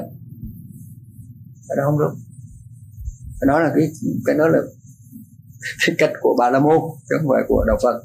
Đạo phật là chỉ có giác ngộ thôi, chứ không có không, bởi vì đức phật ngài trong kinh tứ niệm xứ, phật nói rất rõ mà người ta không biết. Tức là tinh tấn chánh niệm tỉnh giác đó là chính này. Còn thật ra thân thọ tâm pháp là phụ. Người ta lại, đôi lúc người ta là lấy thân làm chính, lấy thọ làm chính cái này cái đó không phải cái tính tinh tấn chánh niệm tỉnh giác mới chính. Nhưng mà bây giờ tinh tấn chánh niệm tỉnh giác nó đi đâu? Thì nó nó lấy thân thọ tâm pháp để mà mà phát huy cái tinh tấn chánh niệm tỉnh giác. Chứ không phải là cái, tìm gì trong đó hết á. Nó không có tìm gì trong đó đâu mà cứ ngồi mà tìm đối tượng thọ thế này thân thế kia cái đó là cực kỳ sai lầm. Đó. thì là à một cái gì hỏi cái gì. Hmm? à vong nhập á. Thì á, bây giờ nếu một người tin tấn chánh niệm tỉnh giác là rõ biết đi đứng nằm ngồi rõ biết mọi trước cả thì cũng có cái, cái, cái, cái mà họ không dám nhập được nhập cũng được. Muốn nhập họ nhập cũng được. Không có chỗ nào. Chỉ là mình mê mê mê hay là mình thâm tham. Xin sao nhập biết không? Thí dụ như này trời ơi, làm sao mà mình có thần thông mà mình nhìn qua cái vết mà mình biết được ta? Thích đó thích thế đó rồi, được. Để tôi cho anh tôi cho anh để có một cái vong nhập vô. Nhìn qua thấy liền. Vong nhập vô bởi vì mình thích đó cái đường dẫn. Cái đường dẫn nó dẫn vô. Là tự nhiên mình thấy qua, nhìn dưới đất cũng thấy, nhìn qua tường cũng thấy trời ơi mình đạt được rồi. Thật ra là người âm nó, nó thấy dùng cho đó. Thì tại tại anh tham anh mời vô thôi. Thì đó đức phật ngài nói câu mà nói là lẽ ra là cái phasara chitta này. Nhưng mà do mình cứ hướng ngoài mình tìm cầu cái này cái kia cho nên bị cái ô nhiễm à bị cái cấu uế bên ngoài làm cho ô nhiễm. Đó. Thì cái bên ngoài đó nó mới là theo vô. muốn mở luân xa này luân xa gì mình chưa kiểm soát đi, chưa biết đi làm sao. Thợ chưa biết thợ làm sao mà đòi mở luân xa tức là mình chưa biết là cái cửa nhà mình ở đâu, trong nhà có cái gì, mình không biết. Mà mình đòi mở cửa mà ông trộm nó vô, nó lấy hết. Như vậy thôi. Đó là cái đó là đều do mình mà ra hết đó. thì chỉ chỉ cần là mình phải thường sáng suốt biết mình trồng chú tâm quan sát đó, thì là mình sẽ lúc đó người ta còn tôn trọng rồi cho người ta nhập vô làm gì?